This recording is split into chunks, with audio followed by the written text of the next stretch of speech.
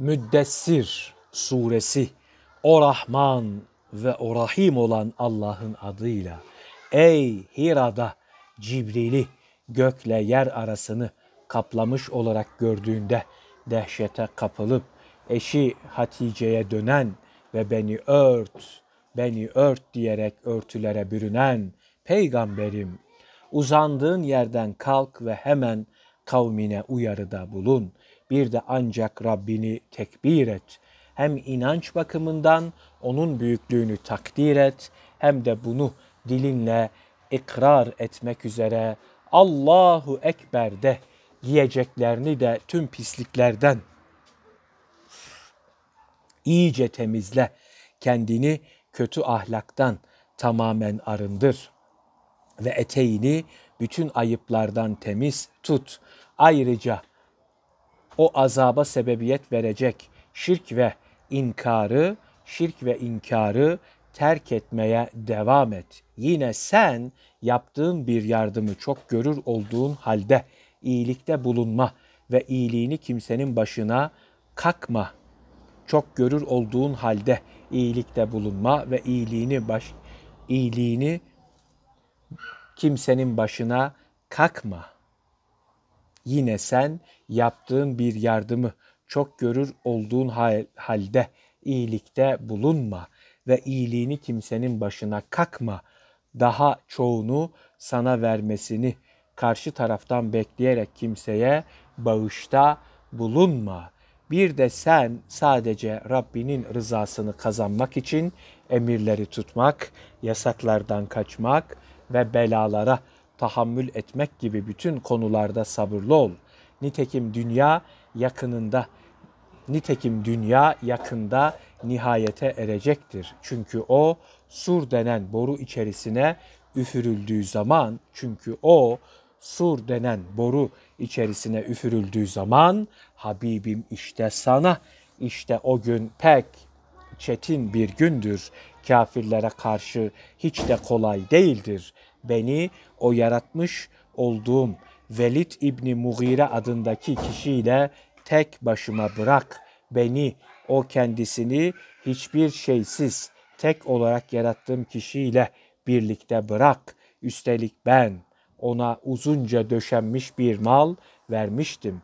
Zengin oldukları için sefere ihtiyaç duymayıp yanında duran oğullar da bir de ben. Üstelik ben ona uzunca döşenmiş bir mal vermiştim. Zengin oldukları için sefere ihtiyaç duymayıp yanında duran oğullar da bir de ben ona tam bir döşeme ile bütün refah imkanlarını yaymıştım. Sonra da hırsından dolayı hala nimetlerimi ona artırayım diye hevesleniyor. Hayır, bu beklentisini asla gerçekleştirmeyeceğim. Çünkü şüphesiz o bizim ayetlerimize karşı bile bile inkarı sürdüren çok inatçı biri oldu. Muhakkak ben onu 70 senede çıkıp 70 senede ineceği ve sonsuza kadar böylece azaba uğratılacağı pek sarp bir yokuşa sardıracağım. Zira gerçekten o Kur'an Kur'an hakkında ne söyleyeceğini çokça düşündü ve iyice kurdu. Kahrolası mel'un nasıl da ölçüp biçti. Sonra gebertilesi herif nasıl da ayarladı. Sonra insanların yüzlerine baktı. Ardından tenkit edecek bir nokta bulamayınca kaş çatıp suratını buruşturdu ve herkes kendisinden önemli bir açıklama beklerken zamansız olarak suratsızlığını dışa vurdu. Sonra haktan uzaklaşmak üzere ardını döndü ve peygamberime iman etmekten iyice büyüklendi. O sırada birden bire dedi ki işte bu Kur'an ancak büyücülerden öğrenilip nakledilen bir sihirdir. İşte bu okunan Allah kelamı olamaz. Olsa olsa ancak beşer sözüdür. Yakında muhakkak ben onu Sakar'a girdireceğim Habibim. Şimdi sana ne bildirdi ki Sakar nedir? Bunu kimse bilemez ki bildirsin ancak ben bildiririm. İşte şimdi bildiriyorum o öyle bir cehennemdir ki ne et bırakır ne de kemik terk eder. Bilakis içine atılan her şeyi tümüyle helak eder. Ne içine atılanı yakıp yok etmeden terk eder ne de onu yok olmuş haliyle bırakır. Bilakis mahvettiği şey yeniden yaratıldığı için ona azap etmeye devam eder. Cehennemin sakar tabakası derilerin üstünü çokça yakıp karartıcıdır. İnsana çokça parlayıcıdır. O derece ki cehennem ehlinin hepsi birdenbire çok uzak ol cehennem ehlinin hepsi birbirinden çok uzak olmalarına rağmen onu ayan beyan göreceklerdir. Onun üzerinde görevli olarak 19 melek bulunmaktadır. Rivayetlere göre bu meleklerin gözleri şimşek gibi parlak, azı dişleri kaleler gibi sağlamdır. Ağızlarından alevler, çıkma, alevler çıkmaktadır. Her birinin iki omuz arası bir senelik mesafedir ve her biri 70 bin kişilik topluluğu cehennemden istediği yere atacak güçtedir. Her biri 70 bin kişilik topluluğu cehennemden istediği yere atacak güçtedir. Biz o cehennem ateşinin bekçilerini ancak pek güçlü bir takım melekler yaptık ve onlardan merhamet hissini söküp aldık ki azap ettikleri kulların cinsinden olmadıkları için onlara acıyamasınlar. Ey müşrikler siz güçlerinizi onlarla kıyaslamaya başladınız.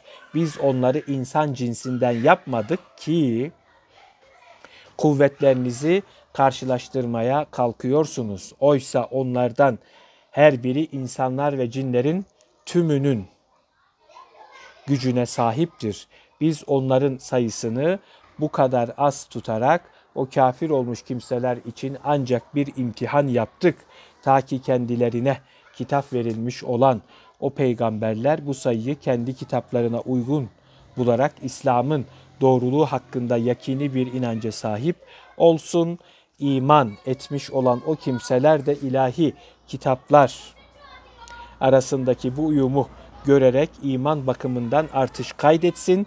Kendilerine kitap verilmiş olan o kimselerle Kur'an'a iman etmiş olanlar bu sayı bakımın bu sayı hakkında en ufak bir şüpheye dahi düşmesin. Bir de hicretin ardından Medine'de münafıklık belirince kafir münafıklık belirince kalplerinde nifak gibi bir tür hastalık bulunacak olan o münafık kimseler ve o Mekke kafirleri bir örnek olarak Allah işte bununla ne gibi bir şeyi kastetti desin.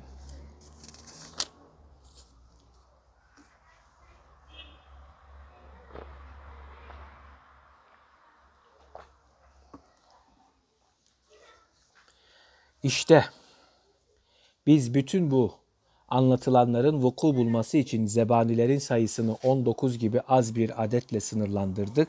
Bu nedenle onlar zebanilerle baş edeceklerini sandılar. Habibim işte sana böylece Allah, böylece Allah yanlış yolu seçtiğini bildiği için kendisini saptırmayı dilediği kimseyi dalalete düşürür.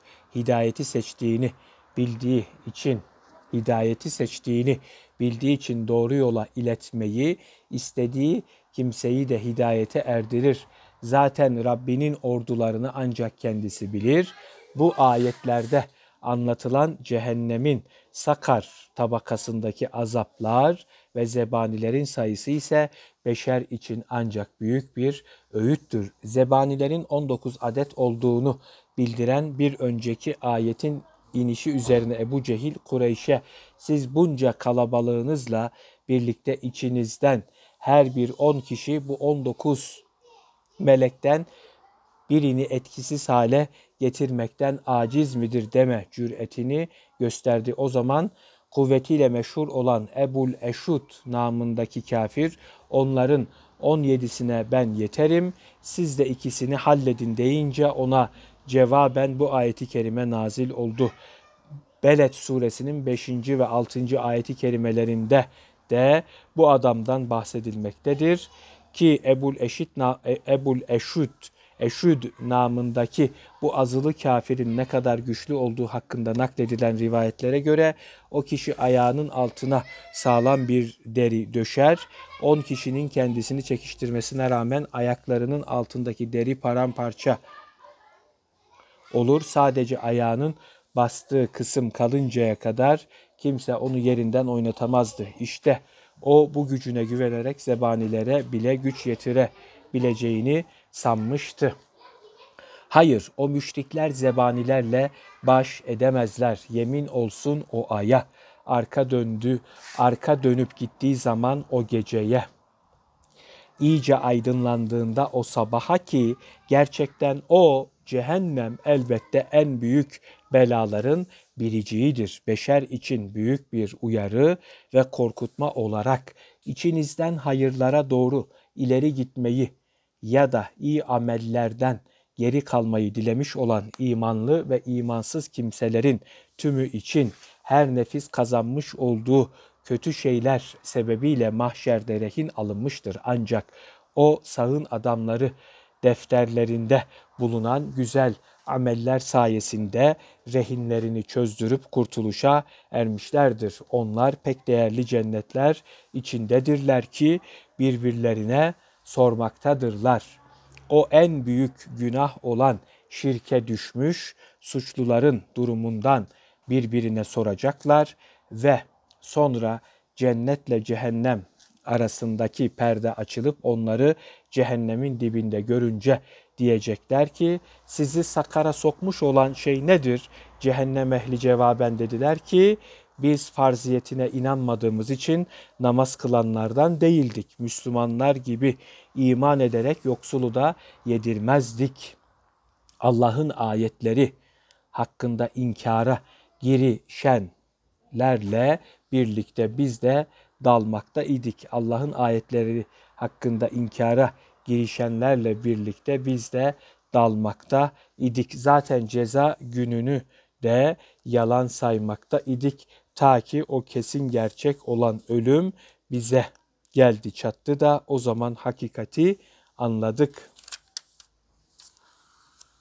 Artık o, artık melekler, peygamberler ve salihlerden oluşan tüm şefaatçiler aracı olmaya kalksa bile hiçbirinin şefaati onlara fayda vermeyecektir. Şimdi ne oldu o kafir olanlara o Kur'an gibi bir öğütten yüz çeviren kimseler olarak ne kötü haldedirler. Sanki gerçekten onlar şiddetle kaçan yaban eşekleridir ki sanki onlar aslandan kaçmıştır. İşte bu müşrikler de Kur'an'ı ve vaazları dinlemekten böylece kaçmaktadırlar. Doğrusu onlardan her biri açma zahmetine dahi katlanmayacağı şekilde önlerine iyice açılmış olan ve içerisinde ey falanca kulum Muhammed'e iman et emri yazılı, yazılı bulunan bir takım sayfalar kendisine verilsin diye arzulamaktadır. Hayır, onlar bu taleplerine asla ulaşacak değillerdir. Doğrusu onlar kendilerine böyle bir kitap verilmediği için inkar etmiyorlar. Bilakis ahiretten korkmuyorlar da onun için Kur'an'dan yüz çeviriyorlar. Hayır, onların bu şekilde yüz çevirmeleri asla doğru değildir. Şüphesiz ki o Kur'an büyük bir öğüttür. Artık iki cihan saadetini kazanmak dileyen kişi onu hiç unutmaksızın sürekli hatırlayıp öğüt alır. O müşrikler madem öyle istediğimiz zaman Kur'an'ı inceleriz, işimize gelirse inanırız diyorlar. Ama Allah dilemedikçe onlar ayetleri hatırlayıp öğüt alamazlar. Zaten ancak o Allah kendisinden sakınılmaya layıktır. Zatından sakınanlara karşı da mağfiret ehlidir. Bu yüzden büyük günahlardan sakınanların sair günahlarını bağışlayacaktır.